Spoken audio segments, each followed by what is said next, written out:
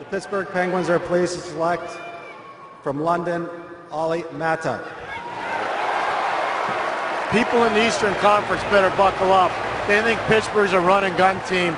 They're going to be so good defensively for so long. This has been a spectacular day for the Pittsburgh Penguins. Yeah, I missed that guy.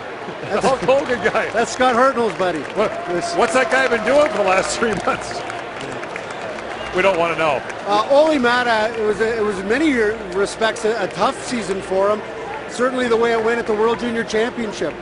A couple of years ago, he was the youngest Finn ever to play for the World Junior team when he was playing in Buffalo. This year, he was expected to be a top four defenseman, but very early in the tournament, Canada-Finland, Boone Jenner caught him with a shot to the head. Maatta went down. He was concussed. He was out of the tournament. He was not able to play the rest of the tournament. He missed games after the fact. He was not able to play in the prospects game.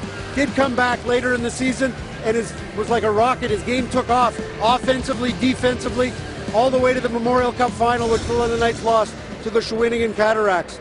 But this is a guy that really understands both sides of the game. And you can't show me very many guys that missed the World Juniors and missed the prospects game because of injury and still managed to rocket up the charts to be 10th ranked on the TSN list and to go 22nd overall to the Pittsburgh Penguins. Jay Heinbuck, their chief scout, if not too far from London, Ontario, spends a lot of time in the rink there.